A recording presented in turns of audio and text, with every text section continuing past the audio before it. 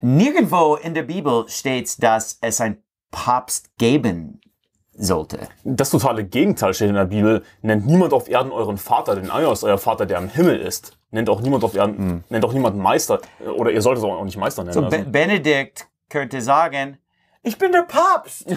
Und, und, und er wird ihm sagen, ich habe, ich habe dich nie gekannt. Und, und er könnte auch sagen, ich habe kein Papst gekannt. Wa- Was ist ein Papst? Was soll denn das?